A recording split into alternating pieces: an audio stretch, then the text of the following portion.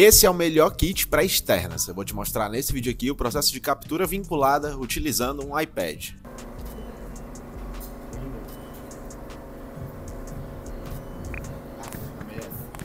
Tá bom, né?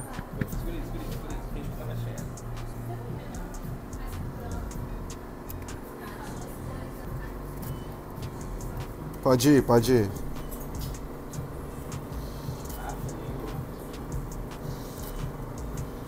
Sem enrolação, eu uso hoje, para quem já acompanha os vídeos de bastidores aqui, vai ter uma playlist aqui em cima, tá? Com vários bastidores meus em ação, mostrando montagem de iluminação, direção de modelos e tudo mais. Nesse vídeo aqui eu vou te tirar algumas dúvidas em relação a esse processo aqui e algumas coisas se você tá pensando em fazer isso utilizando o mesmo software que eu utilizo. Já vai deixando o like, se inscreve no canal e ativa o sininho, o conteúdo aqui merece demais um espacinho nas tuas notificações. Vamos lá. Se você tem um tablet, não necessariamente o iPad, mas que tenha suporte para o Capture Capture One, que é o software que eu utilizo. Ele, se uma vez a sua câmera é uma das câmeras de modelo suportadas pelo software, naturalmente ele vai reconhecer. O processo é simples, do jeito que está aqui, já foi, tá? Eu posso clicar aqui a foto em qualquer lugar, automaticamente ela já vai baixar aqui pro tablet e com uma velocidade super rápida. Lembrando que eu estou usando uma Canon, uma Canon R5 de 45 megapixels, fotografando em RAW, uma qualidade absurda, um arquivo pesado. Eu clico em um segundo ou menos que isso, a foto já aparece aqui pra gente. Dentro do software eu tenho exatamente os mesmos recursos da versão desktop, então você vai poder mexer aqui em balanço de branco, temperatura, né, no caso, a gente pode mexer na exposição, todos os, os crops e todas as funcionalidades normal. Um aspecto que é muito importante é isso daqui, ó. Quem acompanha meus vídeos de bastidores já me viu fotografando aquele cabo laranja da Tether Pro, aquele Tether Tools.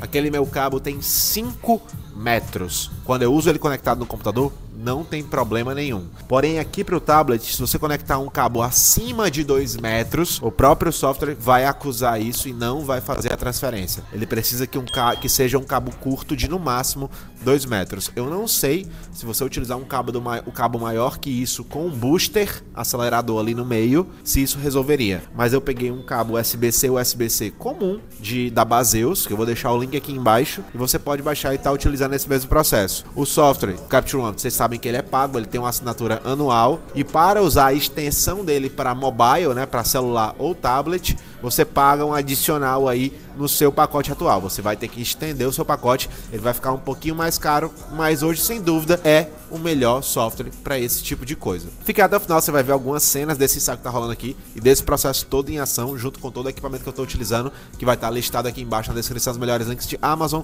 AliExpress e Mercado Livre. Não sai daí. Qual que é o lance do aviamento?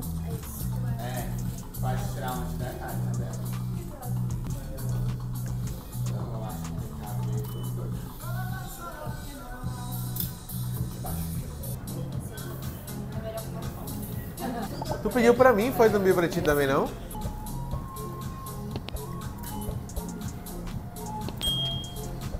Boa, perfeito, tá lindo.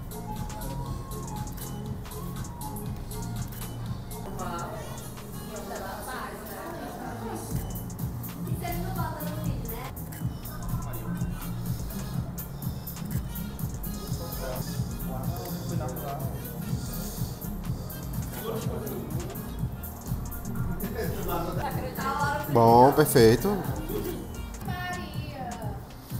Eu quero convidar você a conferir os últimos vídeos que eu mostrei todo o meu equipamento que eu estou separando para 2025.